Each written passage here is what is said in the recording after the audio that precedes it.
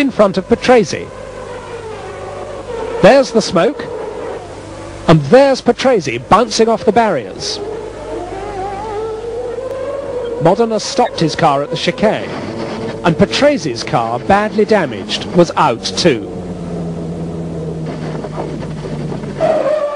You cannot do anything when you go 260 kilometers an hour.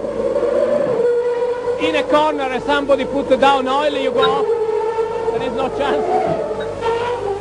And just look at the oil washing out of Modena's ruined engine.